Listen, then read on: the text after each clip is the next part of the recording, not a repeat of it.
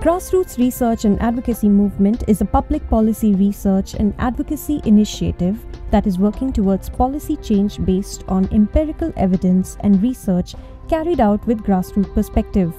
GRAM also aims to enrich the interaction between the community, the state, the NGOs, and the private sector.